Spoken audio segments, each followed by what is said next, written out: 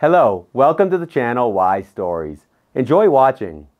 The employment agency was a small office rented on the ground floor of a five story brick building.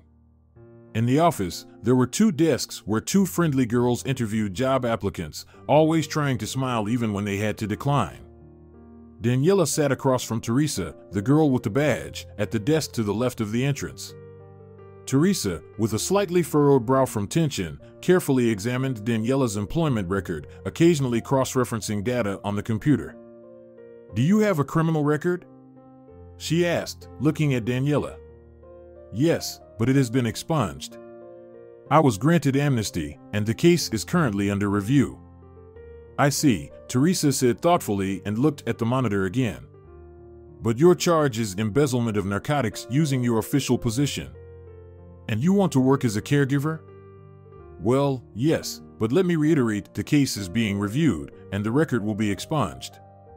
Celia, the girl with the badge at the neighboring desk, closely watched Daniela. She felt uneasy about the situation that had unfolded. Of course, she anticipated difficulties of this nature, but it was a friendly guard from the correctional facility who had given her the agency's business card upon her release, confidently stating, If you're looking for a job, be sure to come here. So she came, thinking there might be some unspoken agreement between the agency and the correctional facility, only to realize it was a mistake. I understand all of this, Teresa continued, but we are obligated to inform employers about all significant information regarding job applicants. I don't think anyone would be willing to entrust their loved ones to a convicted person, even if it may have been unjust under this article. When people have a choice, they won't take unnecessary risks. Do you agree with me? Yes, of course, Daniela sighed. I fully understand how all of this looks from the outside. I apologize for any inconvenience. She reached out to take back all her documents. Teresa, still wearing a frown, slowly gathered the papers into a neat stack and handed them back to Daniela. Celia, at the neighboring desk, continued to gaze at the disheartened Daniela with interest. Damn it, Daniela thought. It's like they brought an exotic animal into the office. And why is she staring at me like that? Daniela put the documents in a transparent blue folder, tucked it into her purse, and walked out into the corridor. In her 26 years, she had managed to pursue three professions two before being convicted for a crime she didn't commit nurse and pharmacist, and one directly imprisoned seamstress. Of course, Daniela would prefer to continue working in her primary field, but until her case is fully reviewed and the real culprit is found, if that ever happens, no one would dare to hire her in a hospital or even the most rundown pharmacy. So, the caregiver position was the most realistic chance in the current circumstances. She didn't want to go back to being a seamstress because even in prison, she began experiencing back problems from long hours of sitting, leading to insomnia and constant headaches. But now problems had arisen here too. Daniela cursed the day she got a job two years ago as a nurse for family doctor Senor Montero, who was most likely the one who set her up. When it was discovered that certain seriously ill patients were being prescribed narcotic drugs somewhat illegally, bypassing many bureaucratic details required by law, Senor Montero managed to escape unscathed, spending the entire investigation period supposedly hospitalized with a heart attack. They questioned him without much bias, which couldn't be said about Daniela. The investigators took her seriously from the very beginning, convinced that she was the one, either out of foolishness or malicious intent, who had been involved in illegal dealings with morphine and tramadol. She didn't try to shift the blame onto Senor Montero, as she herself was certain of his innocence and believed that the drugs went missing due to some other reasons that the investigators would eventually discover. But the case was quickly brought to the desired result for someone, and within two months, Daniela found herself behind bars, unable to believe that all of this was actually happening to her. She spent one and a half years in prison, trying every day to understand what had really happened. Daniela didn't file an appeal, didn't talk to a lawyer, didn't write tearful letters to anyone. There was no one to write to, and she had no money to hire a lawyer. Her mother died immediately after giving birth, and her father, consumed by grief and considering the newborn baby as the murderer of his beloved wife, got rid of her a year later by placing her in a private, albeit expensive, orphanage. Daniela never saw her father, but until her release from the orphanage, the payment for her upkeep arrived regularly. Daniela was grateful to the mysterious parent for that. Her caregivers and teachers turned out to be good people, and she received a decent education and upbringing. And then, by some cruel twist of fate, she ended up in prison. However, after one and a half years, she was unexpectedly granted amnesty. Her criminal record would be expunged, she would receive positive recommendations, and the sum she earned from sewing would be given to her in full, without deducting the expenses for her upkeep. It was simply miraculous. But having learned from bitter experience, Daniela didn't rush to rejoice at this turn of events. Who knows what could be behind all of this? She didn't have control over the situation and knew nothing about the hidden mechanisms that led to her amnesty. She couldn't relax or make far reaching plans. Thank God her one room apartment remained intact and safe. She had some money to get by in the beginning, and she had a business card with the address of an employment agency offering a very interesting caregiver position. That was more than enough for now. With these somber thoughts and memories, Daniela walked along the corridor in search of a bin where she could throw away the torn business card when unexpectedly she was approached by a girl named Celia. Excuse me, she said, addressing Daniela. Is your name Daniela? Yes, it's me. Once again, I apologize. I'm here about a vacant position that might be suitable for you. Daniela raised her eyebrows in surprise. A job?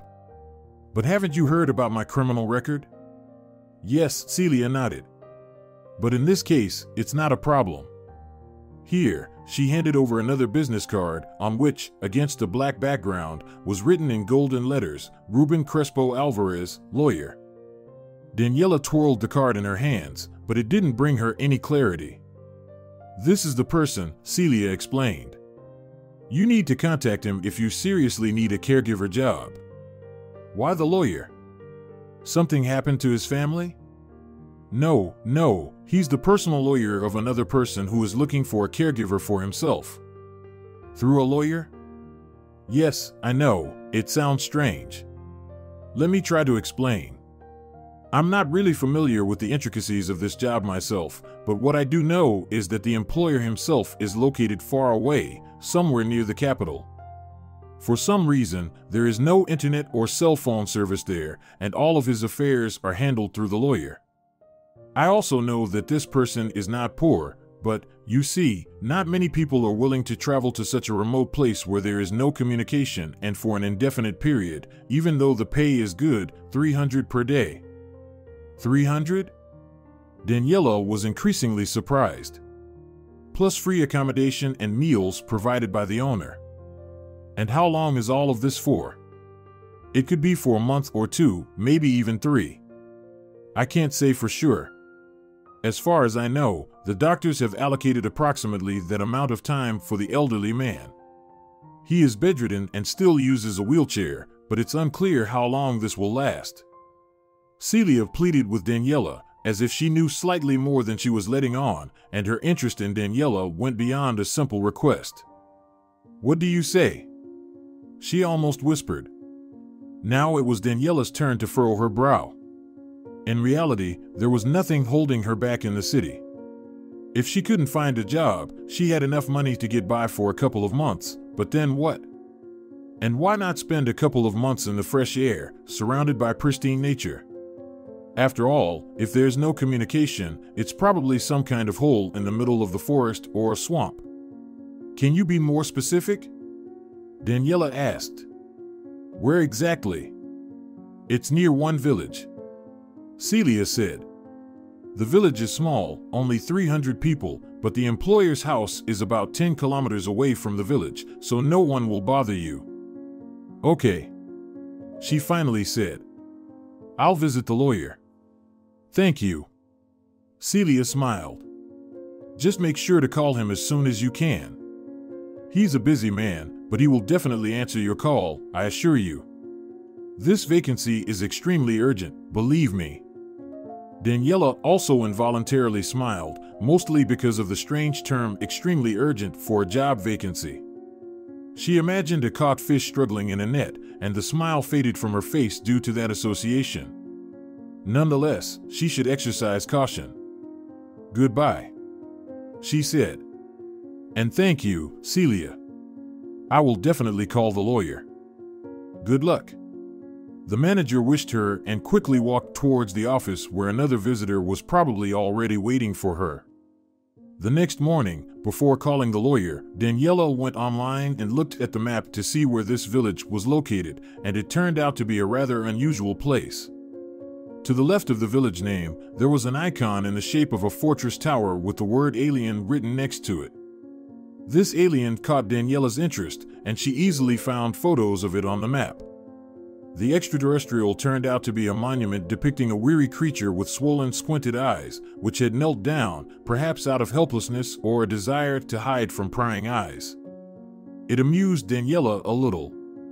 The creature seemed quite friendly to her. After scrolling through the photos, Daniela measured the distance from her location to the village, which turned out to be 2,500 kilometers via the shortest route. Oh no, that's more than a day's journey if you don't make any stops. She didn't even bother searching for available train or plane options to get there, thinking that perhaps if the employer invites someone to such a remote place, they must have already considered all possible modes of transportation. It's no wonder no one agrees to this vacancy, but Daniela didn't have any other options for now. She had to wait until her case was finally closed and that village still seemed familiar to her, although she couldn't find any logical explanations for it. Daniela took out the business card and dialed the number listed on it on her mobile phone. Ruben Crespo Alvarez. A bass voice sounded on the other end. I'm listening. Hello. Daniela's heart started pounding for some reason. I'm calling about the caregiver vacancy. Celia gave me your business card and told me to contact you about it. Ah, yes, yes. The lawyer's voice became friendlier. Good morning. How should I call you? I'm Daniela. The girl said softly. Good morning, Daniela. Thank God someone responded to the vacancy. Can you imagine where you'll need to go? I can, I have the map right in front of me. The man smiled kindly. So, have you already thought everything through and made a final decision? Daniela hesitated slightly, not knowing how to express her doubts in the gentlest way. Well, she began. I would like to know more details, but overall, yes, I've thought about it, and if there are no other problems aside from the long distance, then I agree. Don't worry about that, you'll get there by helicopter. It's just about three kilometers on foot from the drop off point to Senor Alonso's estate. Estate? Daniela was surprised. It's not just a house. Yes, it's an estate with many buildings. You will be living in the house with Senor Alonso. Besides the owner, there are two more people living on the estate, and there's a cook who also does the housekeeping.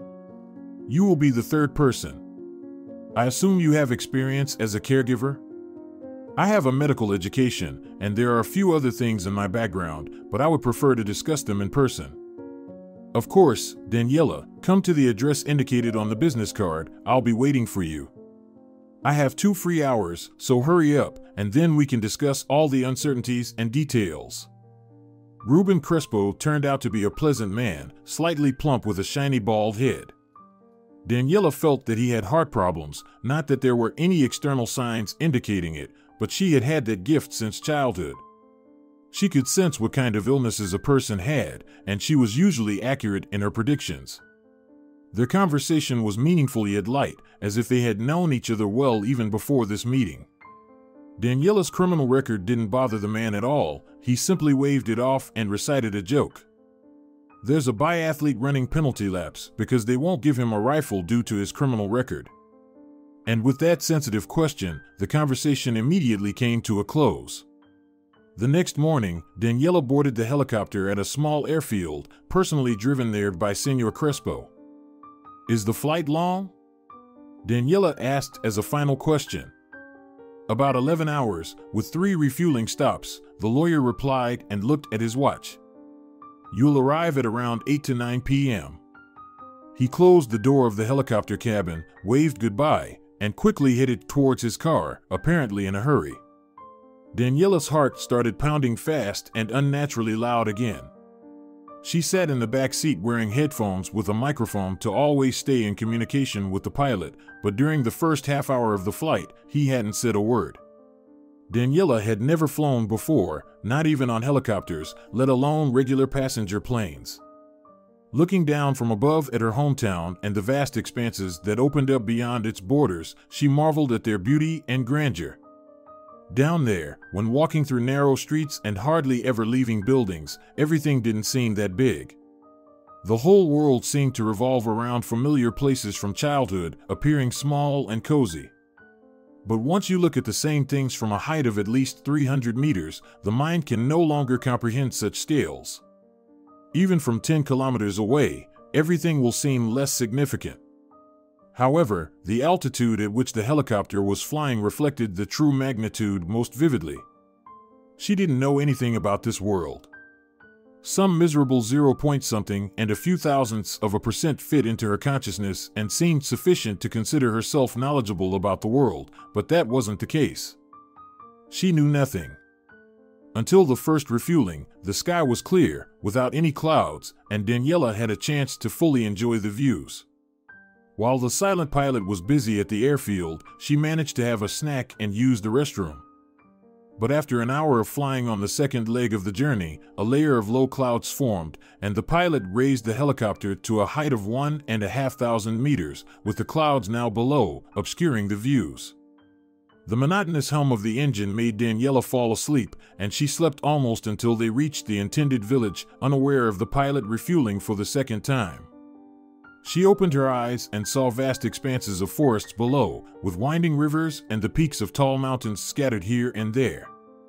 In this gray green sea of untouched nature, she occasionally spotted small houses of unknown villages or isolated huts, probably meant for hunters or workers. Bears, wolves, wild boars, and moose surely ruled over this area, and there were likely people with less than pure intentions coming here to scavenge. The pilot, who had remained silent the entire way, finally spoke up. We're almost there, about 15 more minutes until we arrive. How are you feeling? Good, Daniela replied into the microphone. There's fog below, fasten your seatbelt, just in case. I'm already strapped in. From a great height, the fog seemed like a light haze settling in the lowlands, but as they descended, it became denser and more extensive, completely obscuring the ground. The pilot was clearly tense. Prior to landing, it seemed that the rotor blades had cleared the mist on a small clearing, revealing a smooth surface covered in clover and grass. The landing was successful. Stretching her stiff joints, Daniela stepped out of the cabin, supported by the pilot's hand. As soon as the blade stopped spinning, the fog once again blocked visibility, making it difficult to see clearly even at a distance of 10 meters. Daniela looked at the man bewilderedly. He understood her silent question and, pointing towards the north, explained. You'll walk along this trail without turning anywhere, and about 100 meters ahead, there will be a narrow bridge. From there, there are no obstacles.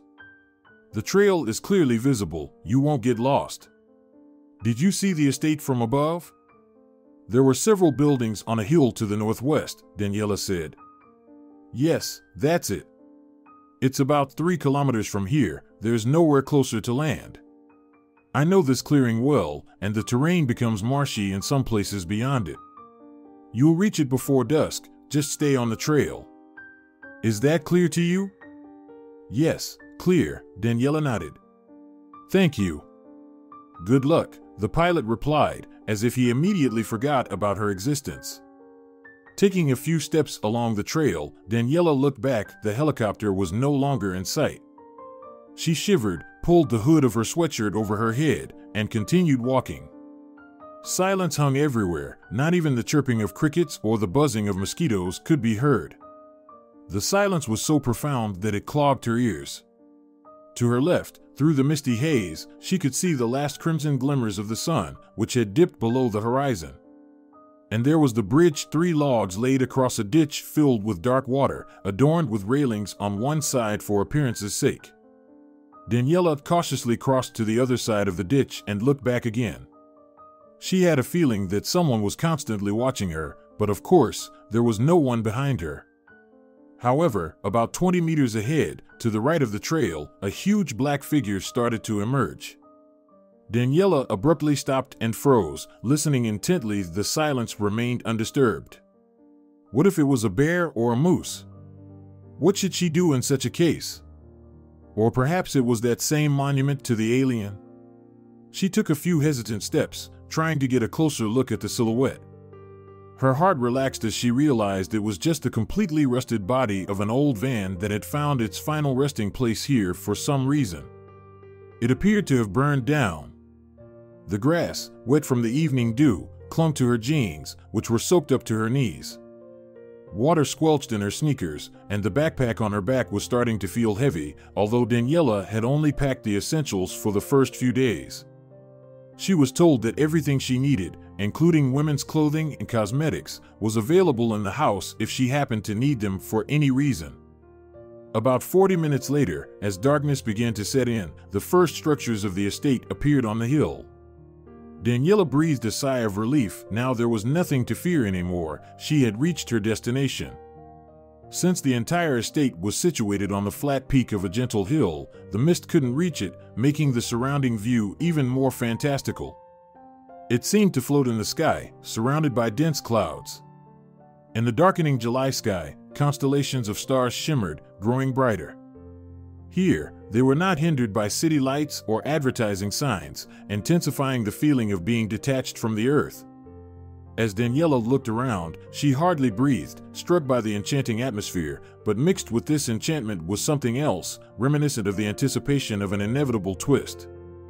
After all, even in fairy tales, things never go smoothly, there is always some witch, monster, or forest spirit that compels the heroes to embark on an adventure. There was something Tim Burton's about it all. Daniela was awakened from these fantasies by an unusual sound resembling a horse's snort. She flinched, squinted her eyes, and indeed, about 30 meters ahead, next to a low building made of slightly chipped red bricks, she saw an elderly man with a sturdy build, holding the reins of a gray and large Apple's horse. The man looked at Daniela intently and remained silent. The edge of an envelope, typically used for mailing letters, peeked out of the pocket of his old military style jacket. Daniela approached him, took off her hood, and smiled. Hello, she said. I'm Daniela. I'm a little late. Where can I find the owner? The man gestured with his hands, mimicking someone cradling a swaddled baby, and nodded questioningly. For a few seconds, Daniela tried to decipher his gesture and understood it as a question about whether she was the nanny whom the owner had been eagerly anticipating. It would probably be difficult to depict a caregiver in any other way. Yes, she said, deciding that the man was mute. I'm a caregiver. Daniela tried to determine if the man could hear her and concluded that he was also deaf because he closely watched the movement of her lips. He tied the horse to the hitching post, stroked its long muzzle, and headed towards the three story house standing at the highest point. Initially, Daniela was already heading in that direction when she heard a strange sound. Taking a few steps, the man turned around, waved his hand at Daniela to follow him, and continued walking, limping slightly on his left leg. The main door of the house was unlocked. Passing through the dark vestibule, dimly lit by only two sconces on the left wall, with a long sofa running alongside it, they climbed the narrow staircase, covered with a soft carpet, to the second floor. From there, two wings diverged in different directions, one completely dark, the other dimly lit, slightly brighter than the vestibule, with the same sconces lining the wide corridor. Windows were on the left, while small halls and room doors alternated on the right, following one after another. The man lightly tapped on one of the doors. After a few seconds, it opened, and a very thin elderly person in a wheelchair appeared at the threshold.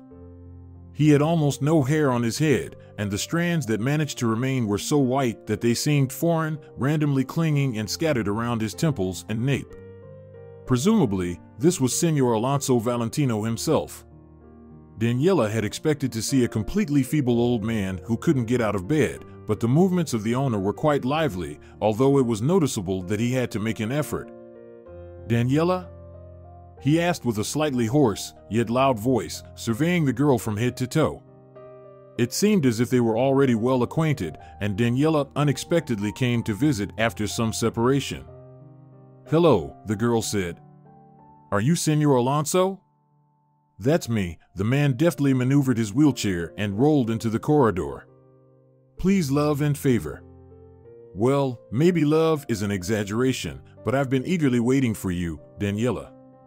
You have no idea how much. Sorry for being informal right away. I can do that. I'm just three steps away from God. Thank you, Angel, he addressed the escort who had been attentively observing their conversation. You can go, I'll show and tell her everything myself. Off you go.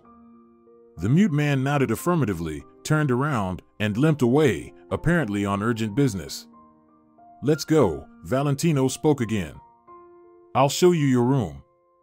And he rolled further down the corridor. And what about Angel? Daniela began her question, trying to walk alongside him. My longtime friend, Senor Alonso, interrupted her.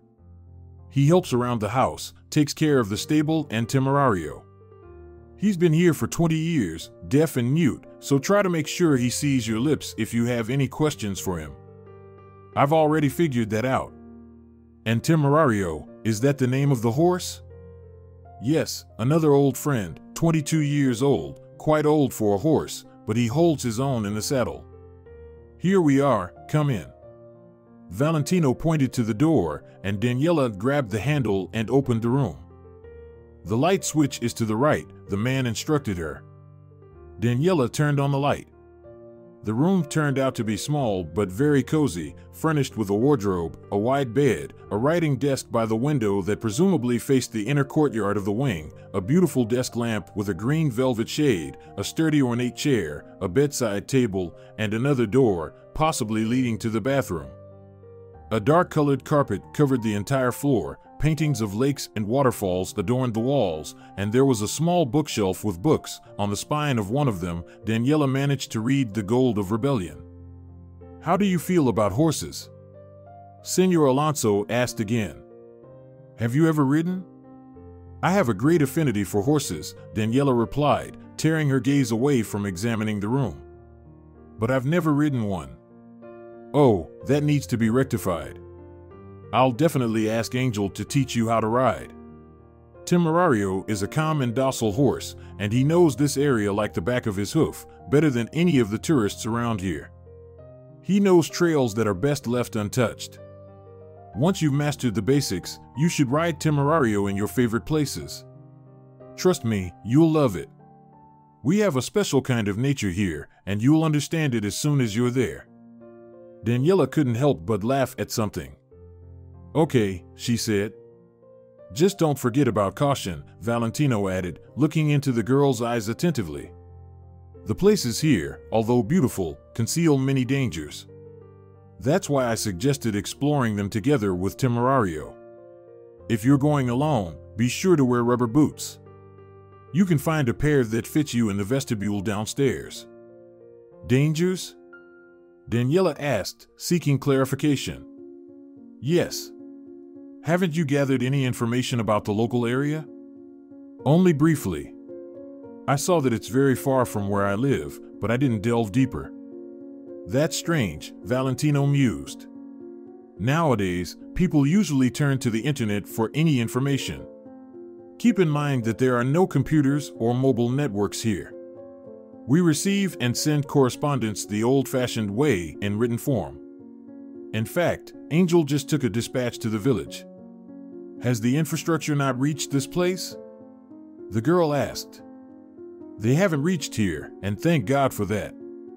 I myself am not a supporter of all these information technologies. They have changed social structures to such an extent that life has almost completely lost the drama of action. Everyone is fixated on the drama of words, communication through networks, gathering information through networks, even interest in a subject is based on comments from those who have studied it on site.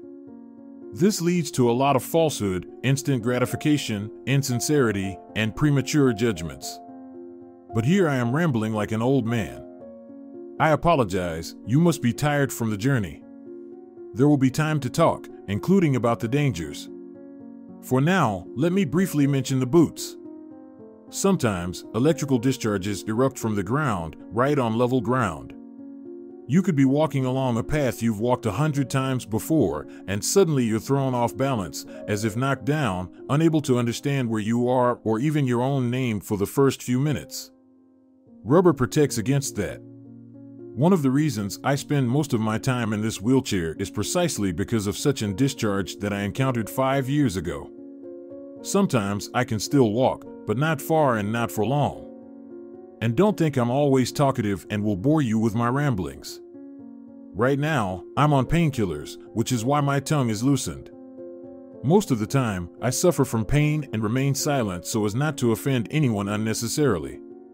You have a medical background, don't you? Yes, I do. That means you can administer IVs and injections for me. Angel is quite clumsy in that regard. A doctor from the village comes a couple of times a week. He'll tell you all the details of how to properly care for me. All right, Daniela nodded. Thank you, Senor Alonso, for the work and for this cozy room. I really like it. Oh, it's thanks to you that you weren't afraid to venture into this wilderness. Not everyone would dare to do that. Well, that's it, I'm off. Rest well. Good night. What time do you usually wake up? Daniela decided to ask one last question. Valentino smirked. Well, I think I stopped sleeping altogether about four years ago, so just knock on my door anytime, day or night, like that. And Senor Alonso rolled away, his gray hairs on top of his head, resembling antennas, fluttered in the breeze. Daniela closed the door, finally took off her backpack from her back, and sat on a chair, resting her elbows on her knees, still damp from the dew. Valentino's remark about painkillers unsettled her. Deep inside, a momentary doubt flared up. What if there was something wrong with those painkillers, and a person with her reputation was needed to uncover the truth? Based on her bitter experience, Daniela couldn't help but entertain such thoughts. In her situation, such thoughts were completely natural, but she didn't want to believe in them. She already liked this place, with its fog and secrets, lightly touched upon by Valentino, and her heart warmed at the thought. Moreover, the host seemed funny and kind at first glance, and it was impossible to imagine that he had only a month left to live. Daniela didn't feel the presence of death around him as she had felt with the terminally ill before. But maybe her senses were dulled due to fatigue? Eleven hours on the road, even though she managed to get some sleep, still took their toll. All right, it's time to wash up and go to sleep. The host didn't offer her any food, and she only had an energy bar and a can of cola left as provisions, but she didn't feel like eating. Daniela undressed, rinsed off in the shower behind the second door, turned off the light, and crawled under the blanket. She woke up early. Getting herself ready, she decided to take a walk around the house, but outside Valentino's door, she heard two men talking. She knocked and a second later entered, remembering that Senor Alonso had allowed her to disturb him at any time. The second man turned out to be the village doctor, who had arrived early in the morning to give his final instructions and consult with Daniela. Valentino sat in his wheelchair and was not as talkative as he had been yesterday. He constantly frowned, apparently in pain, and avoided looking at Daniela, as if afraid to meet her gaze. The doctor introduced himself as Senor Castillo. The consultation lasted about 20 minutes and covered topics such as intravenous drips, medications, injections, their frequency, and strict adherence to the instructions written on the sheet. Senor Castillo's handwriting, like that of all doctors, was illegible, but Daniela had studied to be a pharmacist, so deciphering the scribbles wasn't a big problem for her. Considering his mission accomplished, the doctor bowed and left. We have breakfast at 8 o'clock, Valentino said when they were alone in the room. But if it's more convenient for you at a different time, let Virginia know, she'll adjust the schedule. Virginia is our cook. She doesn't live in the house, she comes from the village every day except Sundays. She's a good girl and cooks deliciously. I'm on a strict diet myself, but Angel loves her cooking. Oh, come on. Daniela said. At 8 o'clock, then. Do you need anything right now? No, Facundo has done all the morning procedures. He was with me since 5 a.m., so you're free until lunch. Have your breakfast and make sure to visit the stable, get to know Temerario better. If you want, you can take your first horseback riding lesson with Angel. All right, Senor Alonso, Daniela nodded. Then we say goodbye until lunch? Yes, Valentino said, approaching the open window where swallows were fluttering about. I'll miss you, he added and turned around. His expression seemed childishly simple and naive to Daniela. She smiled and, without saying anything more, left the room. She quickly established contact with Temerario. The horse turned out to be non stubborn and friendly. Before breakfast, Daniela managed to get in the saddle and take a few laps around the perimeter of the stable. She enjoyed this activity very much and decided that she would definitely continue to develop this new skill. Moreover, Daniela had read somewhere that horseback riding strengthens the back muscles, which she needed to finally get rid of her occasional pains. Everything here seemed familiar and close, as if she had returned home after many years.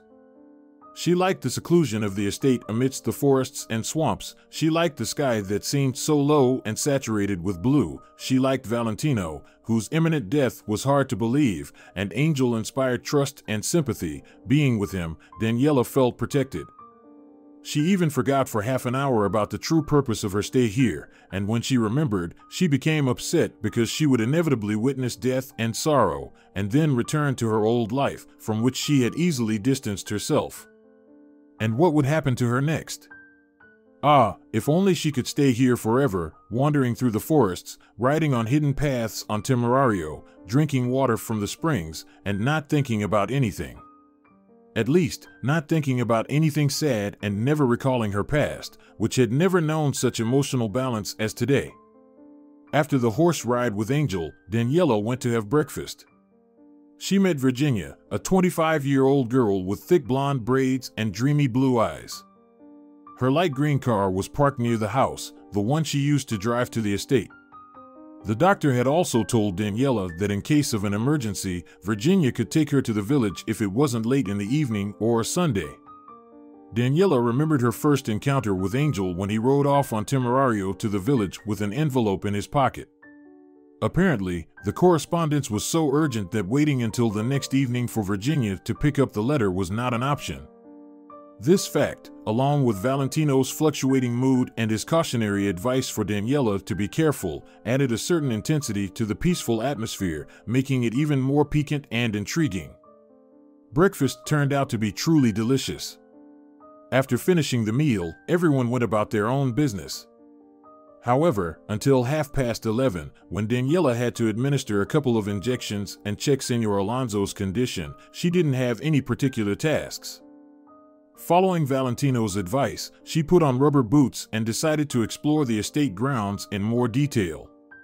In addition to the main house where the owner himself, Angel, and Daniela resided, there was a stable about 50 meters away, something resembling a storage building, single story with a barn lock secured by thick iron hinges.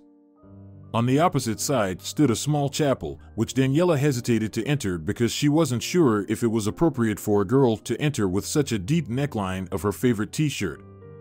A bit lower, where the flat surface gradually turned into a slope, there was a pumping station with a buzzing motor behind a closed door, and next to it stood a tall mast from which wires extended to the house and the stable.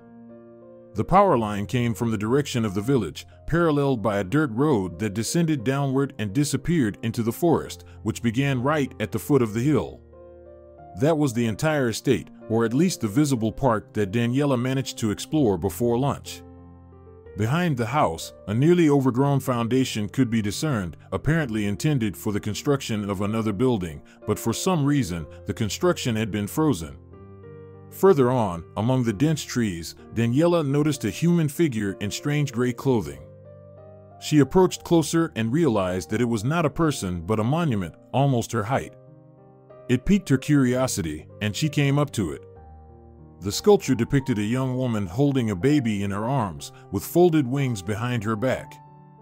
Below the sculpture, there was a neat flower bed with pansies and some other small flowers whose names Daniela didn't know.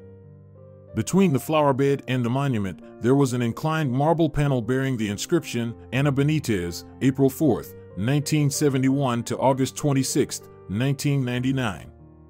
Senor Alonso appeared to be around 60 years old, although his thinness and illness might have added a few more years to his appearance. The woman buried here couldn't be Valentino's younger sister because she had a different patronymic. Could she be his wife? Then she would have been at least 12 years younger than him. Daniela pondered whether to ask the owner about this grave, but decided that, for now, it might be better not to. It was unclear what tragedy had occurred in this estate and what kind of mark it had left on Senor Alonso's soul. During the midday procedures, the man hardly uttered a word. The pain that had started in the morning continued to torment him. He tried not to show it on his face, but he wasn't successful in concealing it. Daniela followed the instructions carefully and precisely, and she didn't bother Valentino with any questions either. The pain relievers were only supposed to be administered once in the evening, and perhaps then there would be time for conversation if the occasion arose. A whole week flew by unnoticed with such simple tasks medical procedures, horseback riding lessons, breakfasts, lunches, dinners, evening preparations for sleep, and even occasional reading of the books on the shelf. Every other day, Angel carried Valentino outside in his arms, transferring him to a different wheelchair, and Daniela walked with them to the rugged part of the hill from where they had a view of the river and the vast field beyond it, scattered with recently mowed hay bales. They often remained silent there. Senor Alonso stared into the distance, lost in his own thoughts. Sometimes he furrowed his brow, while other times he smiled, seemingly recalling pleasant memories. They never visited the grave, and Daniela never mustered the courage to ask Senor Alonso about it. The only thing that troubled her in all of this was that Valentino was fading away before her eyes each passing day. The medications temporarily held back his decline, making it less painful, but now Daniela understood that Senor Alonso wouldn't live until mid August. Now, as he stayed in the house, he spent more and more time in bed. He moved less gracefully in the wheelchair than he did on the first day they met, and during the past couple of days, he only went to one room at the far end of the corridor. The key to that room hung around Valentino's neck, and apparently, only he had permission to enter. Daniela didn't dare ask about the contents of that room because the sight of Senor Alonso locking it, when she accidentally caught him doing so, indicated that such a question would be entirely inappropriate. It added an air of peculiarity to the atmosphere and in the late evening, as she gazed at the mist swirling behind the hill, Daniela imagined herself as a prisoner in Dracula's castle, except Dracula, in her case, wasn't a vampire or a monster, but rather a captive just like her, unable to find a way to break free from this sweet captivity. In the evening of Sunday, Valentino handed Daniela an envelope. She opened it, and inside were the money payment for her first week of work, 2100. Daniela mechanically counted them, and it suddenly made her uncomfortable. The money was significant for her, considering that she hadn't really done much work. Virginia, for example, worked much harder and brought much more benefit. Daniela felt her face flush. Valentino, attentively observing her, looked away, as if he too was unsettled by something. Thank you, Daniela quietly said. I hope I'm worth such an amount. Don't even doubt it, reassured her the man, looking up again. It's always like that with money. You know, I once heard that 80% of people who make expensive purchases in stores feel ashamed about it. Why is that? Money is a subconscious thing, so to speak, you should never take it too seriously, it's always lurking in your mind anyway. Daniela inwardly agreed with Senor Alonso, wished him a good night, and went to her room. The next day, after completing all the procedures prescribed by Valentino and having breakfast, Daniela decided to ride Temerario beyond the estate for the first time. Senor Alonso had mentioned three trails that the horse knew well the River Trail, the Ravine Trail, and the Big Trail. They were named as such because Temerario understood those words. Daniela just had to whisper one of the names into his ear, and he would know where to go so she could relax in the saddle and simply admire the surroundings. Daniela was already quite skillful at getting into the saddle, which always brought a smile to Angel's face. He was a good mentor, even though he only communicated through gestures. River Trail, Daniela whispered, leaning over Temerario's ear. The horse flinched, twitched its ears, and slowly started moving. The main part of the path went through a wide, beaten forest road. Tall pines shimmered in the sun with copper trunks covered in moss, while spruces looked mysterious and wild, as if some secret hid within their dense branches. Somewhere in the distance, a crow cawed raucously, something crackled and rustled in the undergrowth, and a buzzard soared high in the sky, scanning for prey with its keen eyes. Everything here amazed and simultaneously frightened Daniela, but Temerario walked confidently and calmly, indicating there was no danger. Suddenly, the horse veered off the road to the right, onto a barely noticeable trail, and Daniela's heart sank. Where was he going? Why didn't he stick to the normal road? But she didn't stop Temerario, she trusted that if he was going this way, there must be a reason. In this part of the forest, the density was not as thick as it appeared from the road. Mostly pine trees grew here, which provided good visibility and allowed the sunlight to shine through. It was quiet and humid, with only the crunch of dry branches under the hooves, occasionally startling the drowsy pheasants that flew out with a whistle from the grass or low heather bushes. After about 10 minutes on the forest section of the route, a rumble became audible, growing louder with each step. The forest began to thin out, and finally, they reached a path that ran along the riverbank, hence its name the River Trail. Here, the river made bends, and the bank they were approaching had been eroded by the current, forming something like a sandy pebble beach. The view was so beautiful that it took Daniela's breath away. Temerario stopped, snorted, and nodded his head. Daniela had been warned that sometimes they needed to dismount so the horse could rest and eat. After all, he was not young, and he needed to be taken care of. Angel had taught her how to properly tie him up. Daniela dismounted, chose a spot with grass, and hung the reins on a low branch of a fir tree so that Temerario could reach the fresh grass freely. He immediately started nibbling, swatting away the persistent flies with his mane. Mosquitoes bothered Daniela as well, but she almost didn't notice the painful bites as she immersed herself in the beauty of nature. Searching with her eyes for a gentler descent, the girl wanted to get closer to the river when she suddenly saw someone emerging from the water onto the shore. He was about 20 meters away from her, and she could see him clearly. It was a young man completely naked, with a powerful torso and handsome facial features. He noticed her too but showed no signs of embarrassment. Instead, he smiled and waved in greeting. Daniela got scared, no one had warned her about this.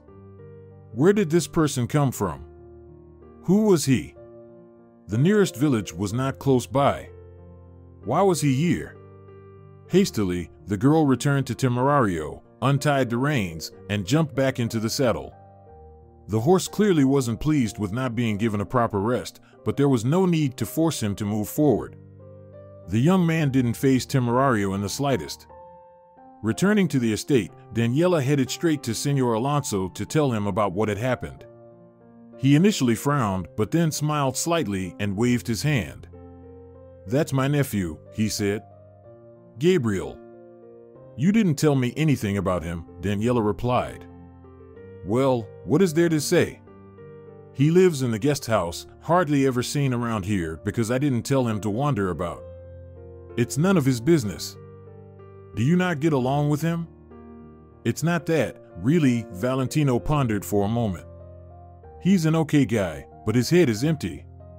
He had a thing for Virginia for a while, so much so that she asked me to shield her from his persistence. He's clueless, doesn't know any better. My late brother's son, his mother passed away long ago. Seems like an orphan, but you wouldn't think so. All jokes and no substance. Oh well, don't let it bother you. He won't harm a fly. How did you like the ride? I enjoyed it, beautiful places. Next time, go to the ravine. The loop is a bit longer, but the scenery is wilder, with hardly any beaten trails. All right, agreed Daniela. I'll go there tomorrow. The morning was cloudy but warm. As usual, Daniela went to Valentino first, who was somewhat excited because, as he explained, an important guest was expected for lunch. The daytime procedures had to be postponed indefinitely due to this, so Daniela had the whole day free after breakfast. She decided to take advantage of the situation and went on the second route that Senor Alonso had recommended to her yesterday. In the low gray clouds, around 11 o'clock, breaks of light began to appear, indicating that the rain Daniela had feared was likely to be canceled. The loop called the ravine ran almost entirely through the forest. There were no visible trails here at all, but Temerario walked confidently, relying on markers known only to him. Some semblance of a road began to emerge closer to the lowland, gradually transitioning into a genuine ravine, at the bottom of which a babbling brook resounded. Perhaps that's why the route was named the ravine, but as Daniela descended further, Temerario grew more alert, something clearly unsettled him. Daniela involuntarily started looking around. Could some creature be lurking behind the spruce tree? So far, she hadn't encountered any animals other than birds in these surroundings. She had asked Valentino about predators, but he looked at her with surprise and assured her that this was a special zone where large animals tended to avoid venturing. What he meant by special remained unclear to Daniela. She didn't bother to dwell on it and simply took Senor Alonso's word for it. Just 10 meters from the brook, Temerario came to a complete stop and began to back up, tossing his head from side to side. It was only then that Daniela noticed the strangeness that frightened the horse. An indistinct misty ring was approaching them, crossing the brook, resembling the smoke rings exhaled by smokers. It moved slowly, swirling slightly counterclockwise and seeming to curl inward. Daniela herself became uneasy. Temerario continued to retreat, his eyes filled with blood, his breathing rapid and heavy. The horse's behavior scared the girl as much as this foggy anomaly did. Her thoughts became momentarily jumbled in her head. At first, she wanted to dismount and somehow calm Temerario down. She took one foot out of the stirrup, but then thought it would be better to stay in the saddle and try to turn the horse around. As she attempted to place her foot back, in the stirrup, she missed and, due to inertia, leaned her entire body to the right, while Temerario came down with his body movement to the left. It became difficult to stay balanced in the saddle, Daniela was increasingly tilting to the side. She barely managed to free her other foot when Temerario reared up and, throwing off the girl, turned around and galloped away. Painfully hitting her shoulder on the ground, Daniela tumbled downhill. When she found herself in the center of the misty ring, she felt as if she had been struck by an electric shock in her head. Bright, orange sparks flashed before her eyes, and she lost consciousness. Awakening, Daniela found herself only when it was starting to get dark. She looked at her watch. The hands were motionless, frozen at half past 11. The sky had once again become densely covered with clouds, making it impossible to determine the current time. Fog had enveloped everything around, and in the distance, an owl hooted. Daniela attempted to get up, feeling her whole body ache and her shoulder in great pain. She moved her hand, thankfully, no fractures, but a significant bruise seemed likely. Dizziness overwhelmed her as she started to survey her surroundings, trying to choose the right direction to go. Everything was completely incomprehensible. Only by the brook, it became clear that she needed to move away from it and uphill, so Daniela followed suit. The fog at the top wasn't as dense, but all the places she had traversed during the day now appeared unrecognizable in the twilight. After half an hour of walking, she could no longer be certain if she was going in the right direction. She was about to sit down under a spruce tree and rest when the smell of smoke reached her. The wind was blowing from the west, indicating that there was either a bonfire or a village in that direction, although according to logic, the nearest settlement should be quite far away. Daniela turned west. She decided that it was in that direction, although she didn't know why. After another 50 meters, a bright fire came into view. Indeed, it was a burning bonfire. Clearly, in the middle of the night in the taiga, one could encounter not only friendly tourists, but also various other people, such as fugitive prisoners, poachers, drunk gold prospectors, or loggers. That's what came to her mind. She needed to approach cautiously, observe, and try to understand who the people sitting by the fire were. In any case, being close to others was safer than being alone in pitch darkness. And at the estate, they should have realized she was missing if Temerario returned home without his rider. Perhaps Angel and Gabriel had started this bonfire while searching for her. And how was Senor Alonso doing without his procedures? Daniela slowed her pace, instinctively crouched down, trying to step as quietly as possible, and in that moment she heard a male voice ahead, about five meters away and slightly to the right. Oh my god! Exclaimed the dark figure, emerging from the spruce branches. You scared me. For a moment, I thought you were the Yeti. What? Daniela asked, nearly collapsing from fright. The man approached a little closer, hastily fastening his pants and scrutinizing the girl attentively. From what could be discerned in the darkness, he appeared to be around 35 years old. He was quite broad shouldered, bearded, and wearing a wide brimmed hat. The Yeti, the stranger explained, quickly regaining his composure. Yes. Have you heard of it? Are there Yetis here? Well, you see, they say they've been sighted, but personally, I haven't been fortunate enough. Don't worry, I'm not dangerous, the man smiled kindly.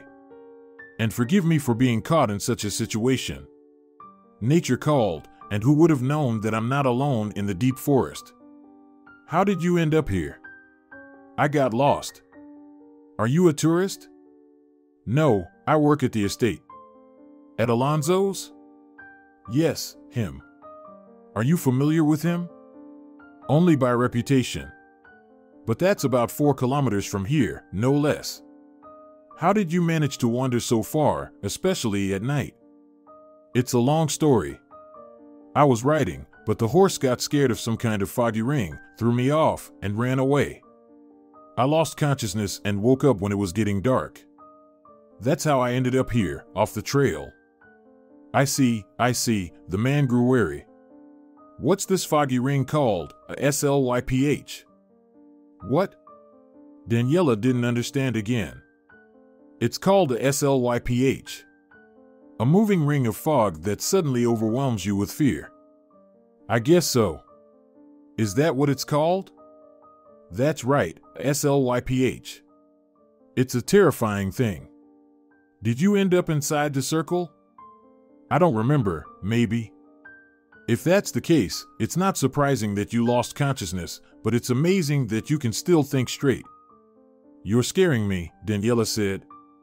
You seem to know absolutely nothing about these parts, the man shook his head. Judging by your stories, nothing at all, the girl agreed. What's your name then? Daniela. I'm Peter, nice to meet you. Likewise. Come on, I'll take you to the campfire and introduce you to my friends. We're ufologists from the capital, we come here every year. Daniela was about to say her silly word again, but she remained silent. This time she realized who ufologists were. Around the campfire sat five people, two of whom were women. They were cooking something in a large pot, and a delicious aroma filled the air. Peter introduced the girl to his comrades and told them everything Daniela had managed to tell him. Wow, one of the men named Mateo exclaimed in surprise. This is the first time I've seen someone who got so closely acquainted with the SLYPH. And how did it feel, may I ask? Can you describe it? I doubt it, Daniela said. She really didn't remember much, and it wasn't pleasant to recall. Just sparks in front of my eyes, she added. But that's probably because I hit my head. There's a stream there, and small stones around it. Let me have a look. One of the women stood up and carefully examined Daniela's head. Yes, you have a scrape on your temple. It needs to be treated. It's not necessary, Daniela objected. My head doesn't hurt, I just bruised my shoulder. Objections are not accepted, the woman insisted, went into the tent, and returned with a small bag from which she took hydrogen peroxide, cotton wool, and a bandage. Skillfully treating the wound, she nodded approvingly and smiled. Now I'll be at ease. Aren't you hungry? Peter inquired. I wouldn't mind. Daniela didn't object. It smells delicious here. Then please, join us. Peter became enthusiastic. Maria, please get some dishes. For another hour or so, Daniela sat by the campfire in such a pleasant and caring company. Soon, another couple joined them, a husband and wife who had been setting up some equipment in the field before. Daniela learned a lot of interesting things from these people. It turned out that the area around the village was called the Western Anomalous Zone or the Western Triangle. In the past, enthusiasts of exotic theories and investigations would flock here from all corners of the country. They talked about fiery orbs, orange and white ones, about crop circles, about encounters with the Yeti and extraterrestrials, about the SLYPH and electrical discharges erupting from the ground. It seemed that everything Daniela had ever heard or read about was concentrated here. Only the chupacabra hadn't been mentioned. But now, it seemed that the streams of tourists had diminished, firstly because it had become expensive to reach this place, and secondly, the broad interest in this kind of research had declined. People now preferred to simply believe without feeling any desire to venture into the wilderness. They also told her that Valentino himself had been one of the pioneers of this zone. Together with his wife, he had founded one of the first societies that seriously engaged in researching the area. They even built a small camp, which later transformed into an estate. Then, after some tragedy about which Daniela's new friends didn't provide details, he immersed himself in business and only occasionally returned to these places, and soon his interest in the anomalies completely waned. So, that's what it means? Daniela thought. A tragedy involving his wife. It means that the hidden grave in the grove actually belongs to Valentino's spouse. Having had a hearty dinner and listening to the monotonous speeches of the men and women, Daniela felt her energy completely drain away. Her eyes grew heavy, the stories turned into continuous droning that no longer conveyed any meaning. They allocated a spot for her in a tent and offered her to sleep there until dawn. Daniela gladly agreed, and as soon as her cheek touched the blanket placed under her head, she sank into a deep sleep where the mist, Senor Alonso, Gabriel, the Yeti, and Temerario fleeing away all intertwined. At dawn, she was awakened by cheerful voices and laughter from outside. Daniela abruptly sat up, and through the small window of the tent, bright morning light streamed in. Automatically, Daniela checked her watch again. This time the hands were moving but showing obviously incorrect time. She rushed out of the tent and asked for the time. Mateo replied that it was half past four. She needed to make her way back to the estate. Daniela declined the offered breakfast, tidied herself up as best she could, thanked the company for their hospitality, and set off. They told her that the path to the estate was very close, just beyond the field. When Daniela reached the path, she immediately recognized the area. Somewhere around here was where she had landed by helicopter.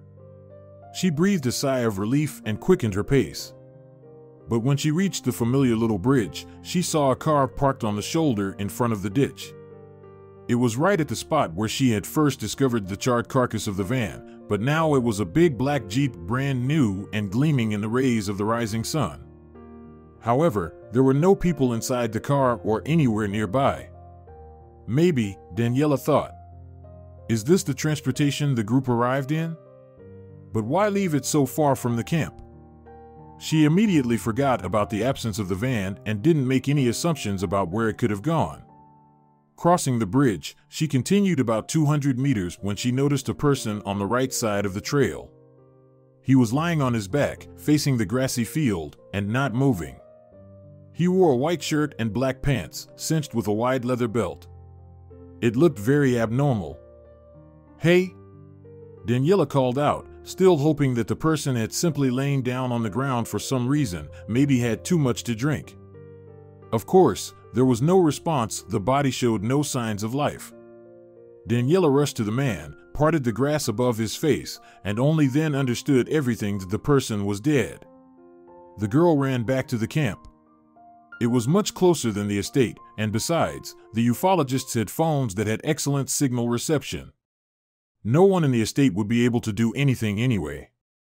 After hastily explaining the situation to her new acquaintances, Daniela managed to call the police.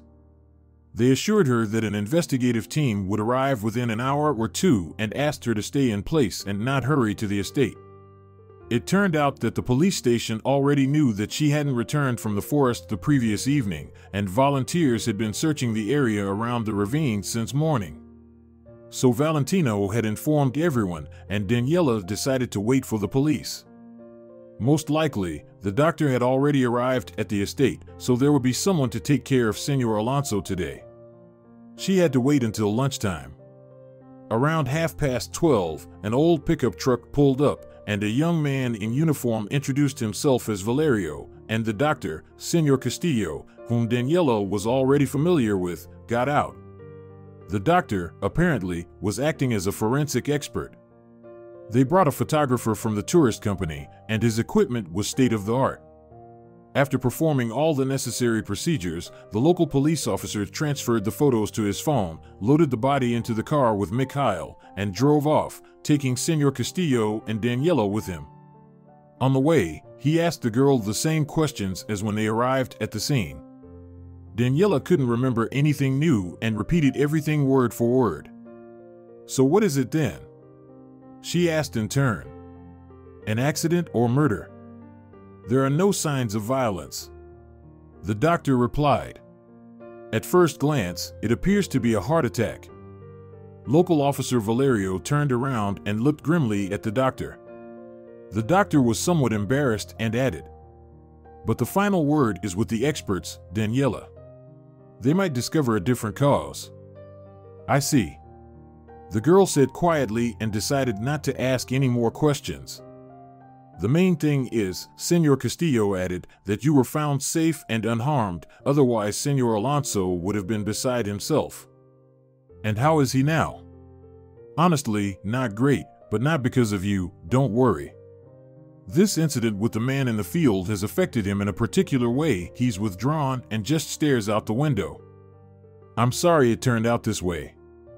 Daniela concluded and also fell silent, staring out the window of the car, which shook on the potholes. Next to the house in the estate, Daniela met Gabriel, who was sitting on the steps of the main entrance. She immediately recognized him, even though she hadn't seen him in those clothes before. The local officer went straight into the house to talk to Valentino, and Senor Castillo headed to the stable to see Angel, exchanging curt greetings with Senor Alonso's nephew. Hello, Daniela, Gabriel said, smiling. Hello, she replied, sitting down on the step as well. She didn't want to go into the house, the morning incident had left too heavy an impression on her. My name is Gabriel, the guy introduced himself.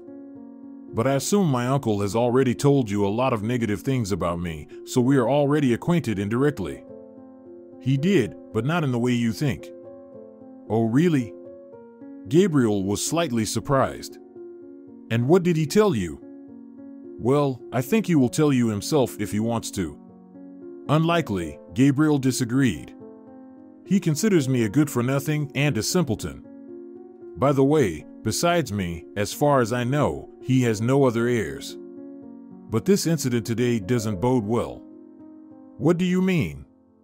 Most likely, the man you found is my uncle's lawyer. He was supposed to come to him in a few days for some urgent matter. Are you sure? Did you talk to the local officer? Of course, I did. Now I'm the prime suspect if it turns out this isn't just an accident. And my alibi isn't great, I was searching for you with the volunteers all night. In theory, I could have accidentally run into the lawyer in the field and. Is there a motive? Gabriel sighed heavily. The lawyer didn't want to see my uncle for no reason, he said. Valentino was planning to rewrite his will. I don't know the details, of course, but I'm sure the lawyer's visit was related to that. So there's a motive if it turns out that I could be left out of the list of heirs. I think you're exaggerating, Gabriel. Are you trying to reassure me? You don't even know me, yet you're so sure of my innocence? Senor Alonso mentioned once that you couldn't even harm a fly, Daniela said, looking closely at Gabriel, who raised his eyebrows at what he heard. It doesn't sound like my uncle. He said. Although, I didn't invite myself to visit him, he invited me a month ago. He put me up in the guest house, but didn't explain anything clearly. I'm not opposed to it. I have fond memories of this place from my childhood. I love it here, but still, the invitation was strange. Why do you think it doesn't sound like your uncle? You've been here for about 10 days or so, right? Gabriel asked Daniela. Yes. Well, I've known him my whole life. Yes, he used to be a very kind hearted person in his younger years when his wife was still alive, my Aunt Anna Benitez. Something happened to her? I accidentally stumbled upon a grave here, behind the house.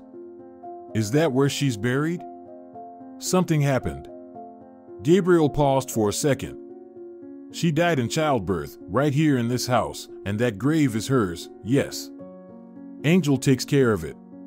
My uncle stopped going there himself when he could still move around on his own. My goodness! Daniela exclaimed. And what about the child? It's complicated with the child. What do you mean? Did the child also die? No, it's worse. Daniela looked at Gabriel questioningly. Almost a year, he continued. Valentino did his best to take care of the child, but then his nerves got the better of him. He believed that the baby was to blame for the death of his beloved wife. Moreover, he suspected that the child wasn't even his. At that time, he and his wife were heavily involved in all this paranormal stuff. They had a big and lively group. In parallel, my uncle had a small business working at a physical institute. He played a significant role in a team that was directly involved in the invention of Fianite, you know, that gemstone. Now it's used in all sorts of jewelry, an indispensable thing. I'm familiar with that. Daniela nodded. But I never knew why it was called that. Yes, it's named after the abbreviation of the Institute itself. It was grown exclusively for use in laser systems because it had similar necessary parameters to diamond but was much cheaper. Grown? Daniela asked for clarification. How is that done? It's quite ordinary. It's grown in laboratory conditions, just like crystals grow in nature, but the growth process is much faster. Interesting. So, they realized that this gemstone could be used in jewelry by coloring the growing crystal in any desired color, thus imitating real gemstones, any gemstone. And then a real boom began, and those who realized what was happening in time made a fortune. Among the lucky ones was my uncle. That's where all these riches came from. So, I got a bit sidetracked from talking about the child. Valentino suspected that his close associate could be the child's real father. The associate, of course, denied everything and even severed ties with my uncle after such accusations, but it didn't convince my uncle. In the end, he sent his poor child to a boarding school, an expensive and reputable one, of course. He couldn't see the child anymore and couldn't forgive the fact that the child, in one way or another, became the cause of his wife's death. He sent money, of course, took care of the child from a distance, but he never left the estate himself, delegating all business matters to the manager and entrusting all legal matters to his lawyer. After this story, Daniela's heart felt heavy. It resembled her own fate, as her father had rejected her for the same reason, and she had been raised in a prestigious and expensive boarding school. But could it be? No, such coincidences don't happen in life, and her surname is Guerrero, nor Alonso or Benitez. Was the child a boy or a girl? Daniela asked, trying to suppress the excitement in her voice. I don't know. Gabriel shrugged. And no one knows. All the people who were around my uncle at that time disappeared, like Smoke, the doctor who delivered the baby, the local police officer, and all the friends and associates in ufology. They all vanished, as if they never existed. And Valentino destroyed some documents and hid others so well that perhaps only the lawyer knew about them. Why do you ask? Apparently, the same thought crossed Gabriel's mind as Daniela's. He wasn't as foolish as Senor Alonso had portrayed him. Daniela shrugged as well. Well, she said softly. Just, she was about to mention the coincidence of the mysterious child's fate with her own, but quickly changed her mind. What? Gabriel became alert. Oh, nothing. There have been so many sad events since yesterday evening. I'm still trying to process it all. Daniela didn't know how to steer the conversation towards a more pleasant topic. Fortunately, the local police officer ran out of the door, interrupting their conversation. Senor Castillo. He shouted loudly towards the stable. Let's go, I've got everything here. Coming. The doctor replied and slowly made his way to the car. Valerio. Gabriel turned to the police officer. What? Valerio turned around. Did you manage to find out who this person is? Yes, it's lawyer Crespo. He was a guest at Senor Alonso's since yesterday evening, then he planned to leave, but he never made it to his car. Gabriel turned pale, his expression became visibly distraught. It wasn't that the man turned out to be a lawyer, as he had assumed, but rather that he had managed to discuss the matter of the will with his uncle, and perhaps everything had already been rearranged. Are you going to give me a ride to the guest house? He finally asked. Let's go. Valerio agreed. Goodbye, Daniela. Gabriel stood up from the steps and extended his hand to Daniela, who shook it. Goodbye. I hope so. The young man smiled. Will we see each other again? Perhaps under more favorable circumstances. Definitely. Daniela said. I think everything will be fine. Senor Alonso asked not to disturb him until the evening. During this time, he stayed in his secret room, the key to which hung around his neck. As Daniela noticed, he looked quite unwell. He seemed to have turned completely dark, as if light no longer reflected off his body but was absorbed until the very last photon. He looked more like a shadow, even his facial features seemed to have smoothed out and lost expression. This greatly concerned Daniela, but she didn't dare to object to Valentino. Around 5 p.m., he knocked on her door himself and asked her to call Angel to take him outside for a walk the last walk, as he put it. Daniela thought that the word last was just her imagination, but it wasn't. Daniela walked with the stroller to the favorite spot where Senor Alonso enjoyed the views of the river. Today was an exceptionally sunny day, the air was warm and still, everything around buzzed and chirped, swallows flew high in the sky, and there wasn't a single cloud in sight, only Valentino's shadow disrupted this harmony of life, appearing out of place on this festive day of life. Senor Alonso himself seemed to understand this perfectly. He fidgeted and shuffled in the stroller the whole time, unable to find a comfortable position. Only after about 10 minutes, he calmed down and, without turning around, asked, So, what happened to you after all? If you're talking about yesterday, I fell off Temerario, hit my head, and lost consciousness. Did you hit yourself hard? Not really, just a scratch or two. Does it hurt? Not much. That doesn't sound like Temerario. Valentino shook his head. He's named that way for a reason, he's not afraid of people or animals. Only something anomalous can scare him.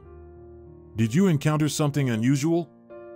The tourist said it was some kind of slipple or slap, I forgot already, a misty ring on the trail.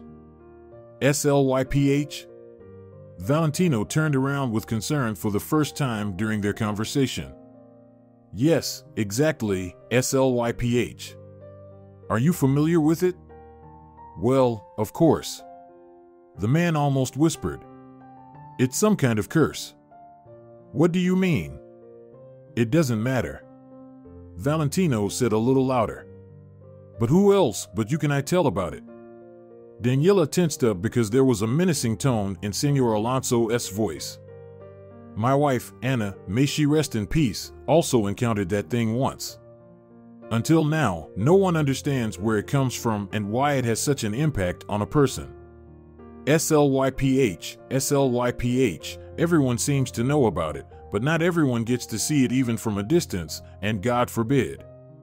But my wife was lucky with everything anomalous, and those spheres seemed to stick to her, and black figures roamed the corridors of this house after her. She was special, our talisman on any of our trips. If she was with us, it meant cameras and devices had to be kept on. That's how it was until that fateful encounter with the SLYPH. She fell ill, didn't speak for three days, and seemed not to recognize anyone, not even me. I sent her to the city to the hospital, and it turned out she was three weeks pregnant.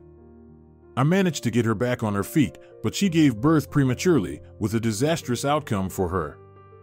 Valentino fell silent, losing more and more of his human features. In Daniela's eyes, he seemed to be melting away. It could have been a simple play of light and shadow, or something was starting to stir in the girl's mind, but it frightened her more and more. And the child? She asked almost mechanically. The child? The child survived, it's a girl. After the last sentence, Daniela snapped back to reality, shook her head, and her heart raced. And what happened to her? Where is she now? I'm sorry, Daniela. Valentino unexpectedly said. I'm tired, I want to go back to the house. All right. The girl said and folded the stroller. Her heart kept pounding, a buzzing sound filled her ears, and her thoughts started to tangle in her head. In front of the stable, when Daniela was about to call Angel, Valentino spoke again. Wait, take this. He took a key off his neck and handed it to the girl. What's this for? I'm canceling the evening procedures for today. Please, don't bother me until tomorrow, and you'll figure out everything with the key, then you'll understand it all. Daniela remained silent, and at that moment Angel came out of the stable and approached them to take Valentino from the girl. Perplexed, she sat in front of the house for another half an hour, unwilling to go inside, and twisted the strange gift from Valentino in her hands. What could it mean? The answer was so close, but she didn't want to accept it as it was. It would be too difficult to accept. Daniela decided that she would think about everything tomorrow. Today had already brought her too many worries, and she needed to forget about everything at least for this night. And that's what she did. In the morning, everything changed dramatically. Daniela overslept, and if it weren't for the knocking on the door, she wouldn't have been able to wake up until maybe lunchtime. Angel stood outside the door, looking concerned and gesturing towards Senor Alonso's room. There was no need for explanations. Daniela understood what had happened, and that thought ran through her body like an electric shock. She hastily got dressed and ran to Valentino, who lay in his bed peaceful, pale, and even with a slight smile.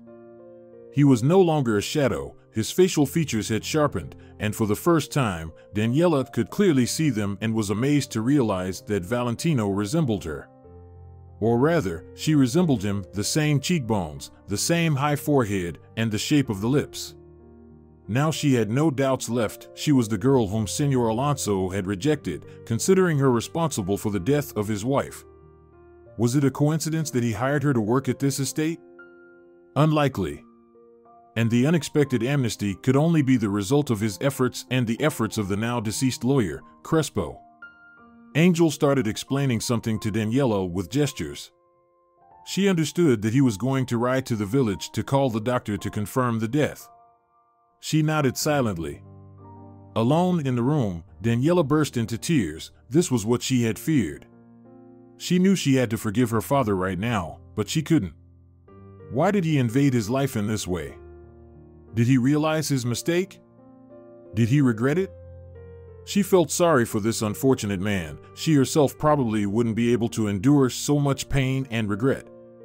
But she had long accepted her orphanhood and had already forgiven, at least she didn't hold any grudge against him.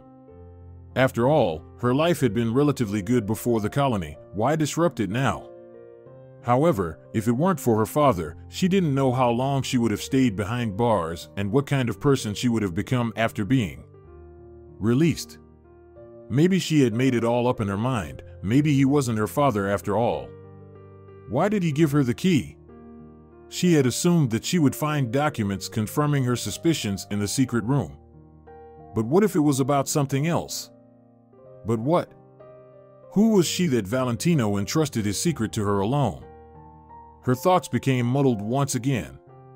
Daniela jumped up from her chair and rushed to that mysterious room to finally resolve all her unbearable doubts. Unlocking the door, she entered and turned on the light. The room turned out to be very small, with pink wallpaper and a soft white carpet, unlike any other room. Oh God, it was a children's. Yes, there was a small crib in the corner next to the heavily draped window. In the crib, there were colorful toys, a small pillow, and an embroidered blanket. And right under the window, there was a writing desk covered in papers and black and white photographs. Daniela sat down on a chair and started examining the pictures. They depicted a young Valentino handsome, fit, and always cheerful, and next to him, his wife, also beautiful but with a hint of sadness in her smile.